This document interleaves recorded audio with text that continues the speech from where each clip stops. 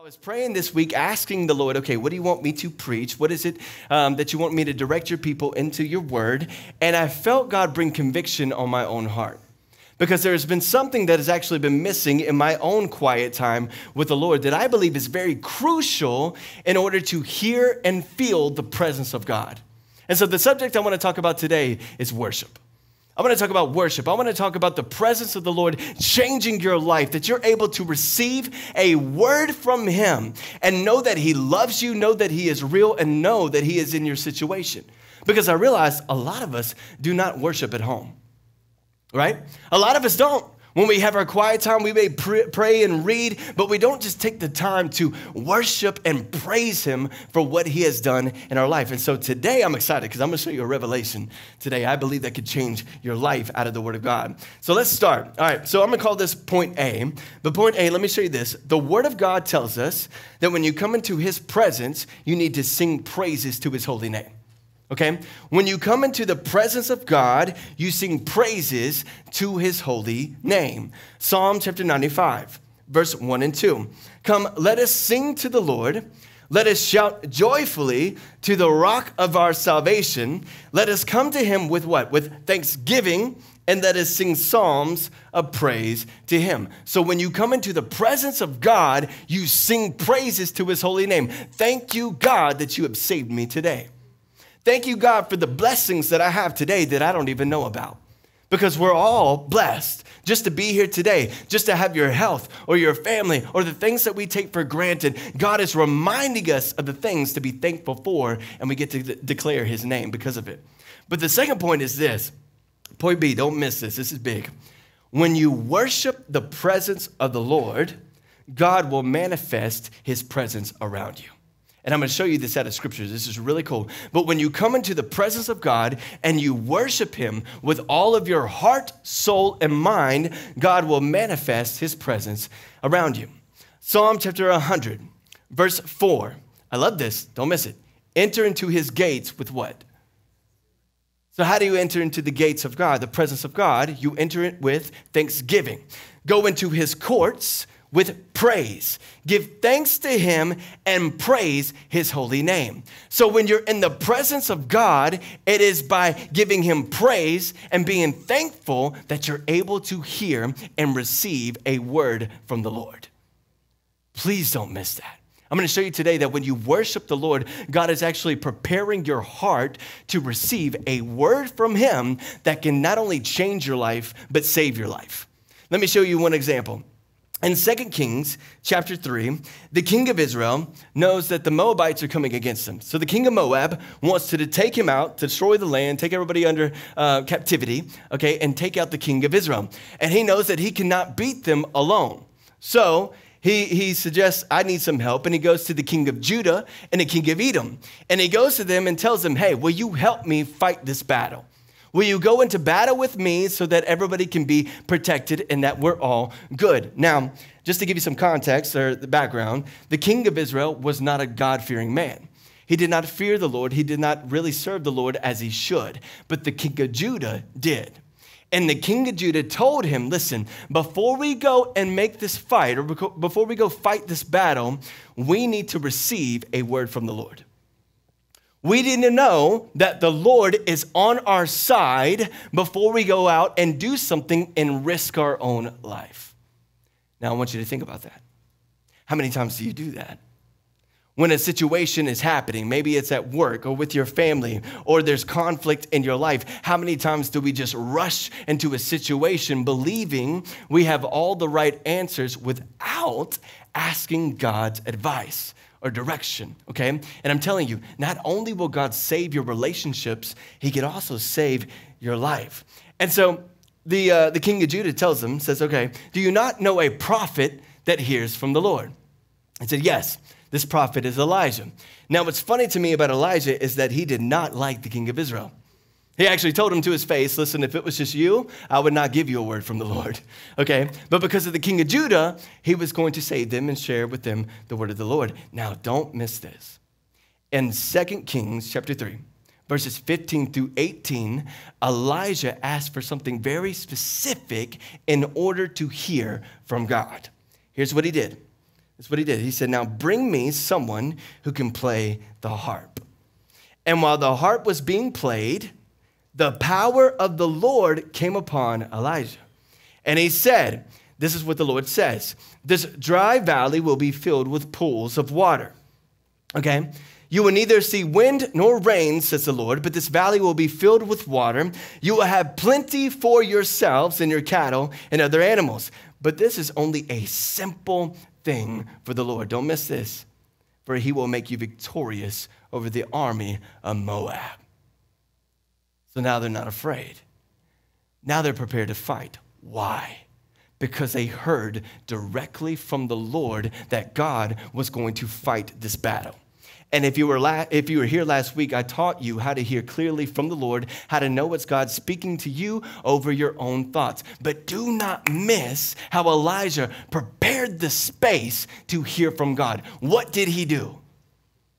He said, I need somebody to come in and play music, play a harp. We're going to worship the Lord so that we can hear from God. All right? So think about this. When you come to church, you automatically expect three things. The first thing you expect is worship. You come in here, you expect to worship the Lord, and that's all I ever hear. How's the worship? Do you like the worship there? Is the worship loud? Is it, is it subtle? Is it good? Do you like it? Do you move around? Like, what, how do you worship, right? Because what happens? when you come in here, even if you failed or messed up this week, or if you have burdens on you, okay? Or if good things have happened and you just want to come into the presence of God and shout praise to Him, when you worship, God prepares your heart to receive a word. You realize that? Because he takes your burdens away. And we talked about that last week too. When you pray, one of the first things you should pray is for God to take away your burdens because they're distractions. Okay, maybe it's a financial burden. Maybe it's a relationship burden. Maybe it's family drama. I don't know. But give it over to the Lord, and then we start worshiping and praising His holy name, believing He's going to perform a miracle even before we see a miracle.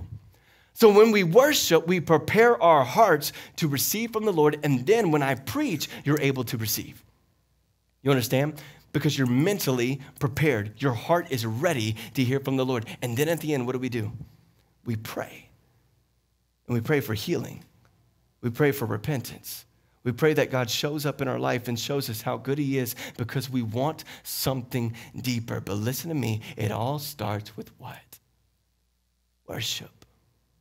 And so this convicted me because so many times I feel like maybe I'm rushing, trying to read His Word and praying real quick that God, thank you, Lord, so much for this Word. It's so good today. Thank you very much. Okay, I got a lot to do. See you later.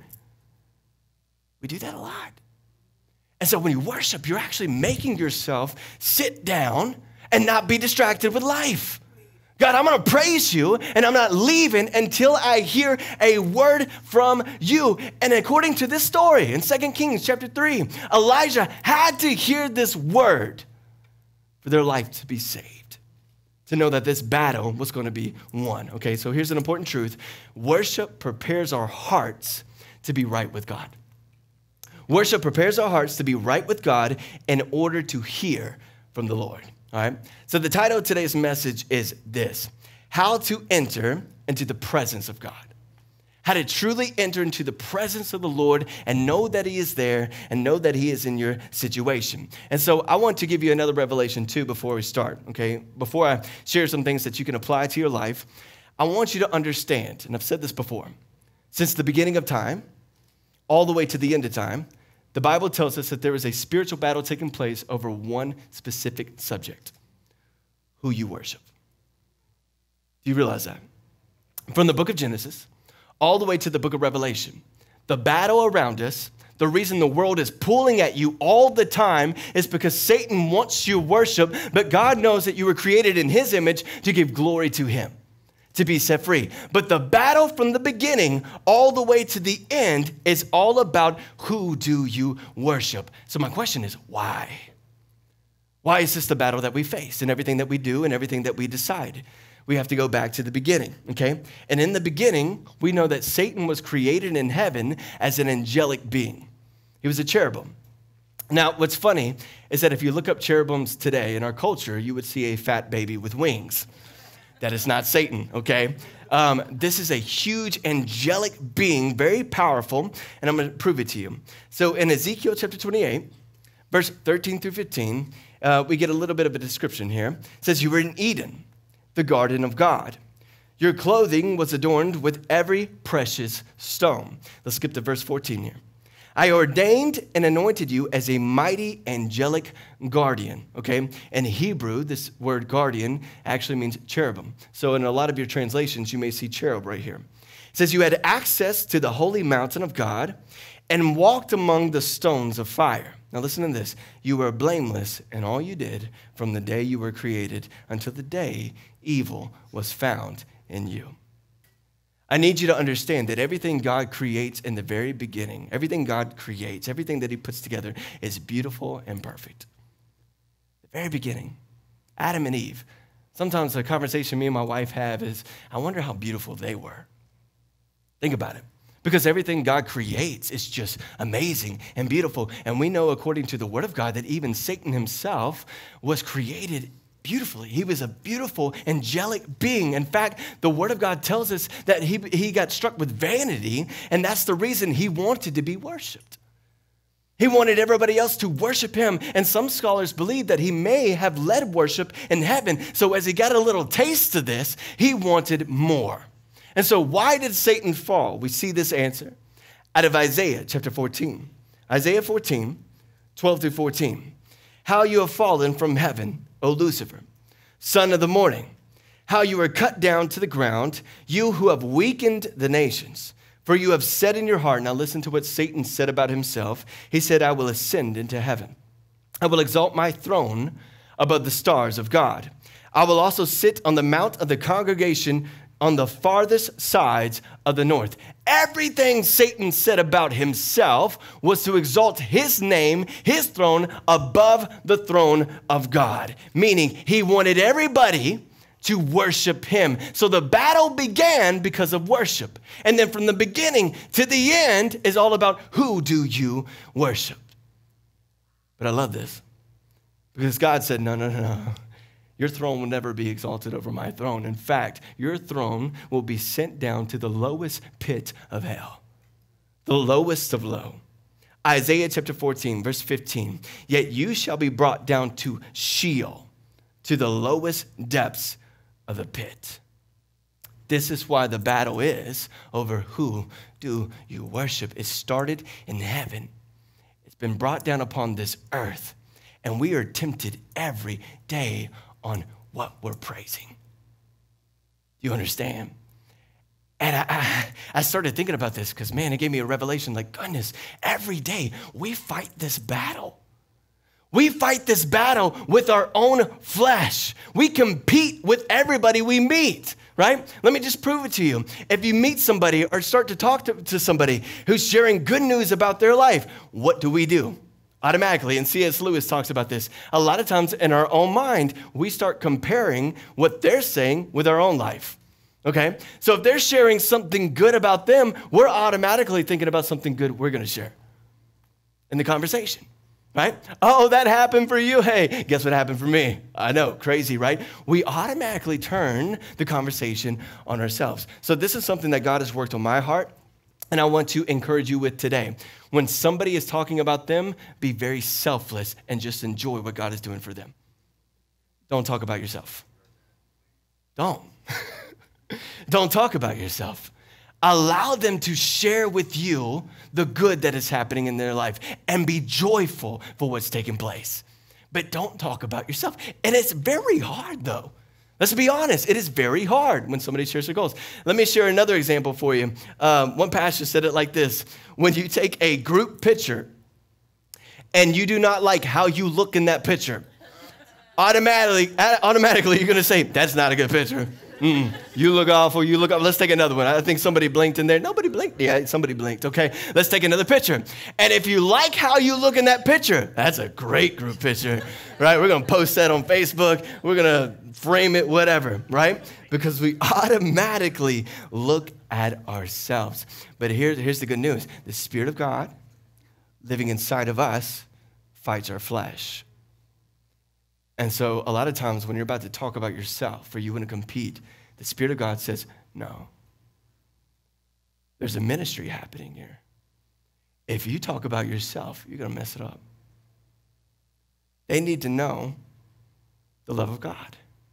They need to know that God can do something in their life, and God may use you in that situation when you stop thinking about yourself and what they're actually telling you in the moment.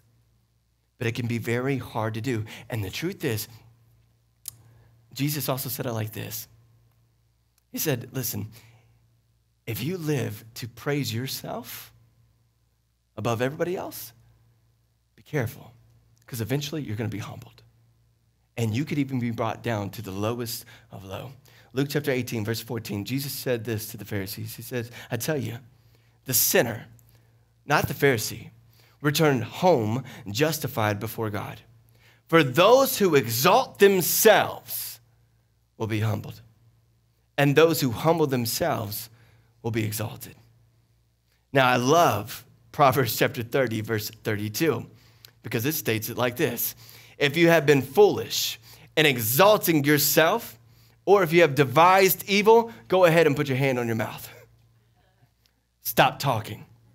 Stop bragging about yourself. Because here's a hard question I really want you to think about Do you live to praise God, or do you live to praise yourself? And the way that you know is think about the conversations you just had this week. Who did you talk more about? Did you talk more about what the Lord is doing in your life, what God has done for you? Or have you always been the main subject of every conversation you've had? And it can be very easy to be consumed in this. And this is the devil's strategy because let me share it like this. Okay, whom you worship also determines the gate you open in life.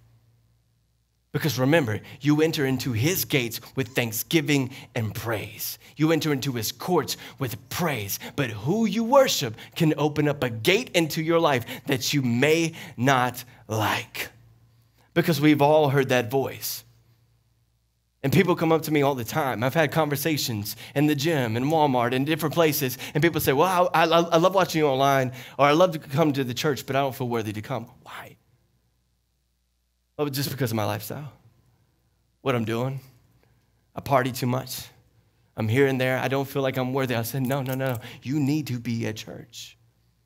You need to encounter the presence of God because God is going to meet you exactly where you are. But I realize for so many of us, you start to worship, God can do it. And you hear in, the, in your ears, Satan just giving you lies. No, he can't. You're a cheater. You're a liar.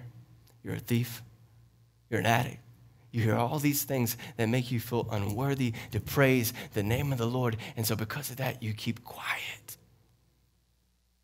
And I realize for some of us, we're so stressed out on the inside and we're so condemned, we don't even know how to worship the Lord and how to feel his freedom. This is the enemy's strategy from the very beginning. When sin entered into the world, what did Adam and Eve do? They hid from what? From the presence of the Lord. Genesis 3, 3, verse 8. And they heard the sound of the Lord God walking in the garden in the cool day. And Adam and his wife hid themselves from the presence of the Lord God among the trees of the garden.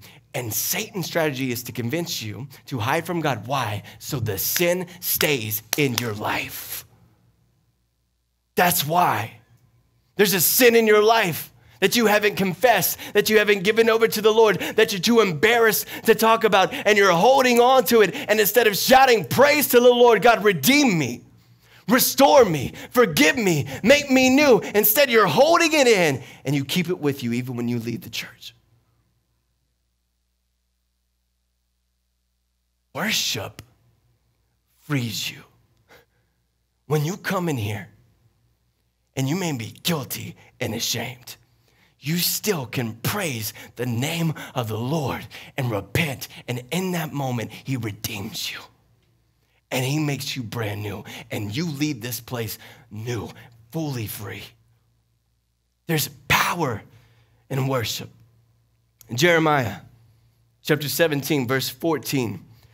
Oh Lord, if you heal me, I will be truly healed. If you save me, I will be truly saved. My praises are for you alone. Do you believe what you sing? Do you believe the words that come out of your mouth when you praise God? God, thank you, Father, for saving me, for restoring me, for redeeming me. And then we leave here and we still just look at the same conflict in our life and we feel like we're in bondage came in here and you praise the name of the Lord, but you go out there and you speak negativity in every situation that you have. And I get it, it's frustrating and it can be hard. But that's what you're speaking over your life. So here's what I want to do. Here's what I'm excited to show you guys today. I want to show you three revelations that I believe can change your mind and open your eyes about the power of worship and what worship could do in your prayer life and how you can receive a word from God that can change who you are to your very core. Okay? So the first point is this. We talked about this a little bit. I'm gonna show you something different though. Sing his praise. Okay? First point. Sing his praise. You were created in the image of God to sing praises to his holy name. Psalm 57, verse 9 and 10. I will thank you, Lord, among all the people. I will sing your praises among the nations. For your unfailing love is as high as the heavens, and your faithfulness reaches to the clouds. So when you come into the presence of the Lord, sing praises. And you may be saying, But, Pastor, you don't want me singing. Right? My family doesn't want me singing. I don't want to go around my house singing because that's going to be torture for everybody. And your spouse may say, Yeah, that's true. Don't let them sing, please. But listen, here's where it gets good it's deeper than how you sound or just you singing. Listen to me, please when you proclaim the goodness of God and you speak it out loud and you praise His holy name, you change the atmosphere of your home. Don't miss this. You change the atmosphere that is in your house. Okay? How you feel in the moment, what is taking place in your home. Have you ever gone home or just had one of those weeks where there's like a heaviness and you don't know why? You come home, everybody's bickering at each other, everybody's aggravated, nobody wants to talk to each other. Or maybe you came home from a busy day, like, hi, everybody. Everybody's like, stop talking to me. Like, what did I do? Right? And everybody's just annoyed and frustrated. You need to understand it is a spiritual warfare taking place around us.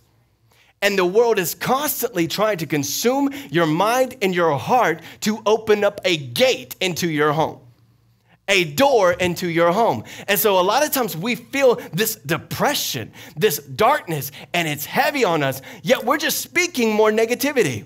Well, I don't know what's wrong with them. Something's wrong with them. I don't like them. That's your spouse. Okay, well, I'll pray for them. I'm gonna get somebody in trouble today. But let me show you this. Okay. Second Chronicles chapter 5. This is really cool to me.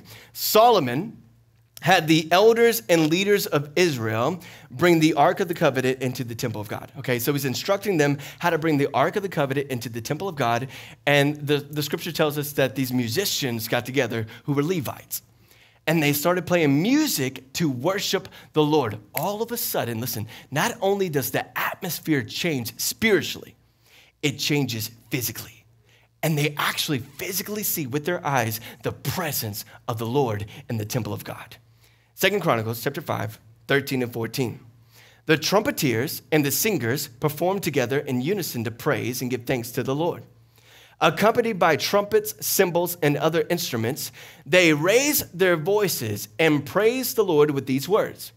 They shouted, He is good. His faithful love endures forever. And at that moment, don't miss this, a thick cloud filled the temple of the Lord and the priest could not continue the service because of the cloud.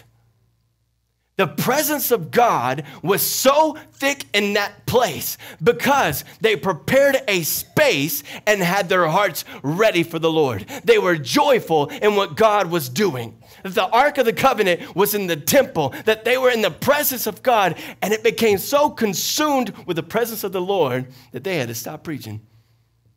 They had to stop. Because the presence of God, listen to this, for the glorious presence of the Lord filled the temple of God. Didn't need a fog machine. Didn't need any of that. Didn't need lights. None of that. The presence of God did it all. Why?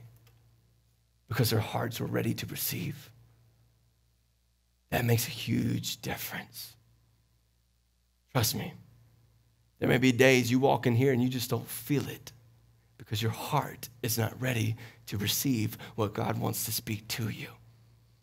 And it's by worship that we change our perspective and be able to get ready. Because I want you to think about this too. Since we were young, we have been groomed by our culture to sing nothing but worldly praises. In every song, we literally we, we sing songs praising breaks up, breakups and getting drunk. We sing songs praising going out and going clubbing and going to the bar. We sing praises of relationships and hooking up. We have these things in our head that we don't even know we're singing them. And we wonder why our house or our home feels so dark. And we don't even understand the things that we're speaking over our life and our house. But I'm telling you today, when you feel that darkness, praise the Lord. The atmosphere will change. And God will drive out those demons, God will change everything. And I want to share this story because I was reminded of this. Um, a while back, my wife was coming downstairs from putting Gabriella to bed, and she was almost in tears. She said, Listen, this happened in Gabriella's room. And um, she said she was putting her to bed, she was praying, and she was singing worship songs. And all of a sudden, she said, Listen, I started to hear what sounded like a choir of angels singing in Gabriella's room. And she said that she could not stop. She just wanted to continue to, to sing and sing and sing because she just kept hearing these voices so clearly. And it was like the presence of God was so strong. And I wondered why she was up there for like two hours putting Gabriella to bed, right? But she came down and she gets the presence of God was so strong. We don't always see, we don't always know what God is doing. But when your hearts are ready and you prepare the space, the atmosphere changes home life can change like that if you praise the Lord and worship Him and prepare to listen. And this brings me to my second point. Listen to this. All right? We sing praises to the Lord. Second point is this we sing to battle. We sing praises to God to fight, because again, this is a spiritual war. Ephesians chapter 6, verse 12. For we are not fighting against flesh and blood enemies but against evil rulers and authorities of the unseen world, against mighty powers in the dark world, and against evil spirits in the heavenly places. And one of the best examples of this is found at of 1 Samuel chapter 16.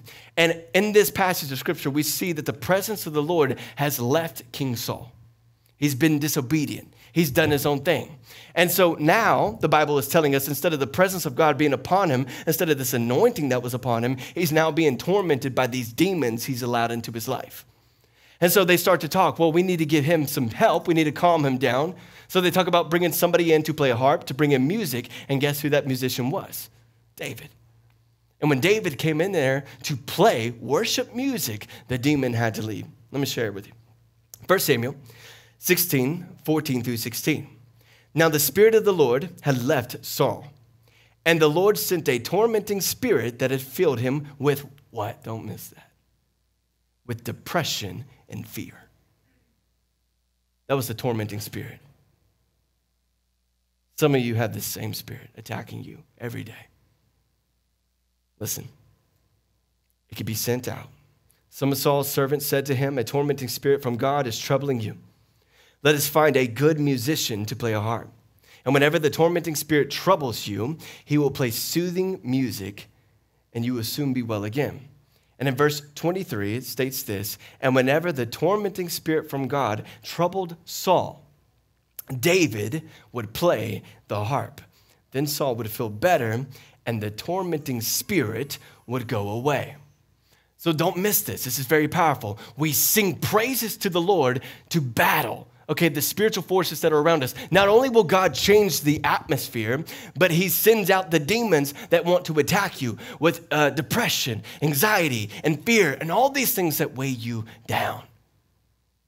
And God wants to set you free from that. But also don't miss this because even though Saul saw relief, his heart was not yearning for the Lord. He became obsessed with jealousy and pride and he began to hate David.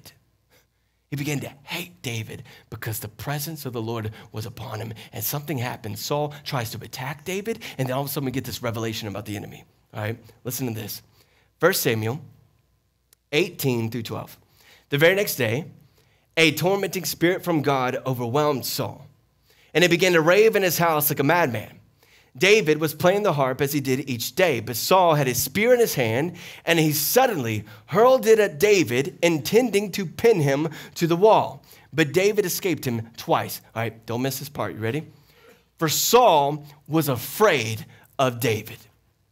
Saul was afraid of David, for the Lord was with David and had turned away from Saul. Saul was afraid of David because the presence of God that used to be on him was now on David, okay? But listen to this because a demon was tormenting Saul, that demon was scared of the presence of God. That's really what's happening here.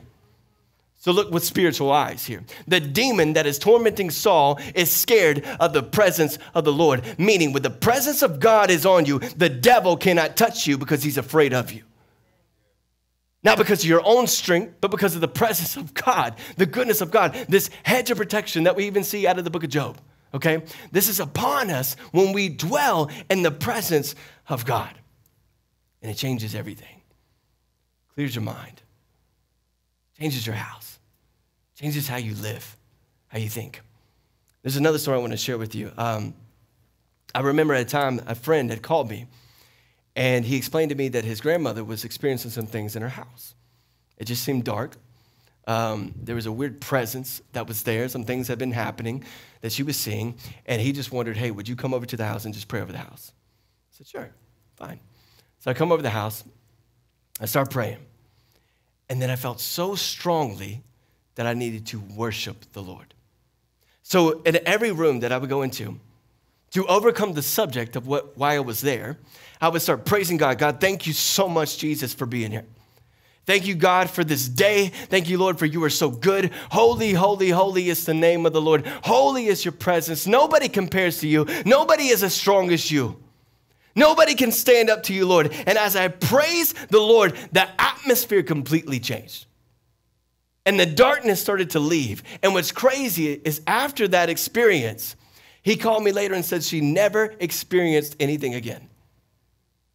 By doing what? By worshiping the Lord. Your heart ready and prepared to receive. God wants to speak to you.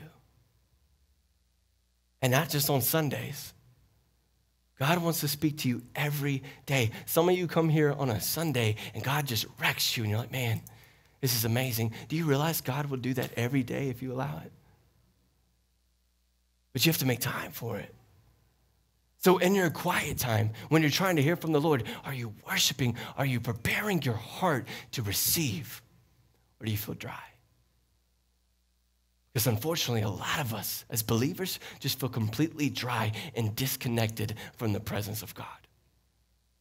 And so, my last point is this we sing to not run dry in the Spirit, we sing praises to the Lord. And we remind ourselves, even when it's hard and difficult, that God is in our situation and that He is good. And here's what I love Jesus gave this revelation about worship that he had never said before. But he gave this to this the most unlikely person he could possibly give this advice to. And he spoke this to a Samaritan woman at Jacob's well. What's interesting about that is that if you know the Jewish culture, the Jews did not associate with Samaritans because of their idols. They would not be caught talking to a Samaritan. Yet Jesus is here at a well, Jacob's well, talking to the Samaritan woman. Now, another thing to know about the context of the scripture is that she came later in the day by herself. The Samaritan women would come early in the morning. So, as they drew water from the well, they would have conversations. So, not only was she an outcast in the Jewish culture, this proves to us that she was an outcast in her own culture because she didn't want to be around anybody else. She wanted to hide. So when she came to draw water from the well, here's Jesus sitting there, and she can't believe that he's talking to her. And then he starts to talk about her life. I love this because he knows exactly what she's doing. And he tells her straight up, You've been with many men. In fact, the guy you're living with right now is not your husband. But Jesus did not condemn her, he didn't shoo her away. What did he do? He revealed a revelation to her to draw her near and it changed her life forever. And he shared two important truths about worship that I do not want you to miss today. The first thing he said was this in John chapter 4, verse 10 and 11. He said, If you only knew the gift that God has for you and who you were speaking to, you would ask me, and I would give you living water. Now, if you keep reading the story, she didn't understand what that meant. How can you give me this living water? How can I never go thirsty again? That well is deep. What kind of water can you offer to me? But don't miss the words of Jesus meeting this woman directly in her lifestyle of sin. He met her exactly where she was and he said, Do not miss the gift that sits before you, the gift that I have for you this salvation, this living water, you will never go thirsty again. And I'm telling you today, that may be you right now. How many times do we come on a Sunday just because it's church and we miss the gift? We miss it all. We don't really worship, we just stand here. That was good. That was okay. It could be better. I liked it. We receive a word. That was good. We go eat with your own thing. But you have to prepare your heart.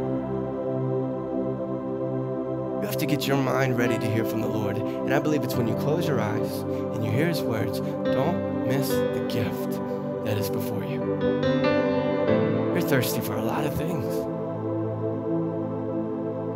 You have needs in your life that are real. but you're going after the wrong dreams and you're chasing everything else to satisfy, satisfy the needs that you have, and they're not doing the job. And there's something tormenting you, but instead of bringing it to the Lord because you don't think you're worthy to praise His holy name, you're going more towards the sin in your life, and it's just condemning you more and more and more, and you find yourself completely dry and so thirsty, yet you don't know how to quench the thirst. And Jesus is saying, Don't miss the gift. For the living water represents the Holy Spirit, the Spirit of God living inside of you. Let me also say this Jesus said this John 4 23 and 24. He told her, But the time is coming, and indeed it is here now, when true worshipers will worship the Father in what? In spirit and in truth. The Father is looking for those who will worship Him in that way why? Because God is spirit. So those who worship him must worship in spirit and in truth. And the beauty about this story is that Jesus is pretty much stating all of us have a well on the inside that should be flowing with living water. And when it's flowing with living water, we can't help but to praise his holy name. It comes out of us. We just want to shout and give glory to Him, what He's going to do, the hope that we have. It should be pouring out, but some of us are completely dry and we have nothing on the inside because we missed His gift. We missed His presence. We're busy with life. We're trying to do everything else, and we're not being full with what He wants to give you. And Jesus stated to the Pharisees in Matthew 12 34, He said, For out of the abundance of the heart, the mouth speaks. And when you feel dry on the inside, you have no words. And it's difficult. But I love what Jesus said out of John chapter 7, verse 37 and 38. Jesus stood and shouted to the crowds. He said, Anyone who is thirsty may come to me. Anyone who believes in me may come and drink. For the scriptures declare, rivers of living water will flow from his heart. And when he said living water, listen to me, he was speaking of the Spirit. How does God want you to worship today? By the Spirit and his truth. The Holy Spirit flowing out of you. Let me ask you this real question Do you feel dry?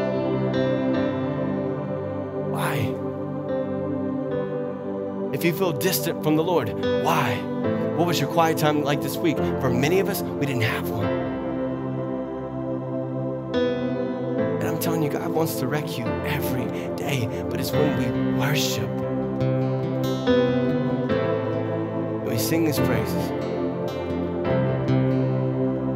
God, you're good, yeah. Father, we praise you. Jesus, we give it to you. Everything we have. You praise Him. Whether you can sing or not, doesn't matter. God has taken your burdens away. And I've seen healing.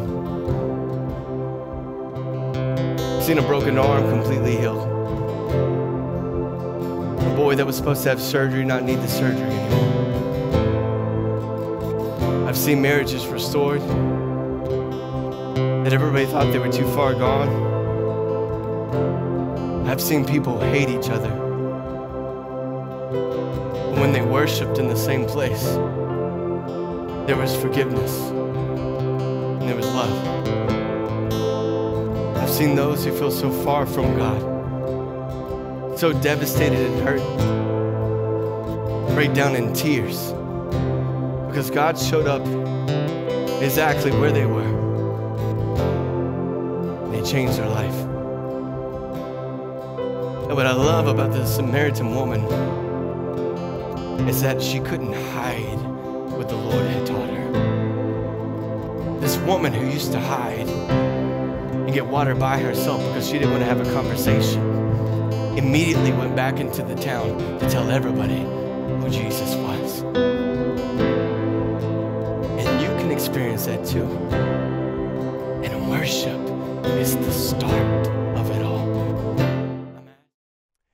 Hey guys, it's Pastor Bobby Chandler, and I just want to say thank you so much for watching today's message. We pray that it blessed your life. But do me a favor before you just click off of YouTube, make sure you subscribe to our channel and also ring that bell so that you get notifications on the next sermon or any announcements that we have going on. Also, I want to say thank you for being a faithful partner with Authentic Church because of your giving, we are able to bless and impact the people around us every single week. So we love our authentic family, and thank you today for joining us.